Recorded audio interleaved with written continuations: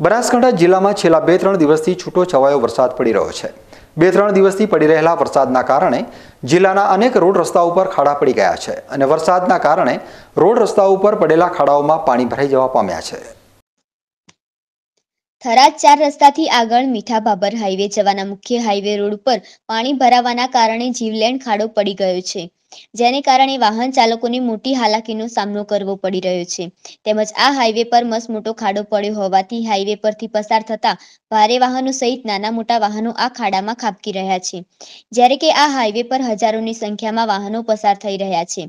જેથી ખાડાના કારણે મોટી જાનહાનિ થાય તે પહેલા તંત્ર સફાળું જાગે અને આ જોખમી ખાડાને ધ્યાને લઈ નેશનલ હાઈવે ઓથોરિટી દ્વારા રોડ વચ્ચે પડેલા ખાડાને તાત્કાલિક ધોરણે રિપેર કરાવવામાં આવે તેવી માંગ ઉઠી છે.